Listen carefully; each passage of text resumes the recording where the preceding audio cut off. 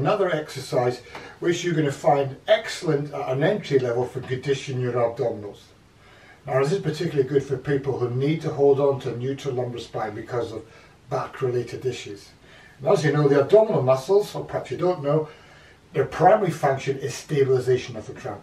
Of course you also have the abdominal muscles involved in flexion, rotation and lateral flexion.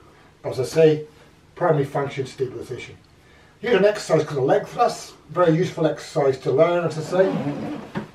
Neutral lumbar spine, shoulders stabilised, knees to chest, chin tucked in. Now take an inhale, exhale, send the legs out, stabilising, squeeze the knees together, shoulders down. Inhale, exhale, inhale, exhale. You notice how my trunk is having to perform its primary function of stabilisation throughout. Inhale, come back. Exhale, drop one leg, toe ball heel, then the other. Inhale, exhale, get top. And there it is, a leg thrust.